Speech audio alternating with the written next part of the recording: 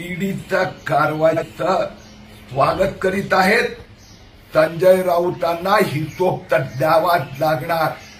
बाराशे कोटीच्या पत्राचाळ घोटाळा असो किंवा वसई नायगाव इथला पीएससीएल युनिटेड बिल्डरचा घोटाळा असो माफियागिरी असो दादागिरी असो प्रत्येकाला जेलमध्ये पाठवायची धमकी महाविकास आघाडीचा.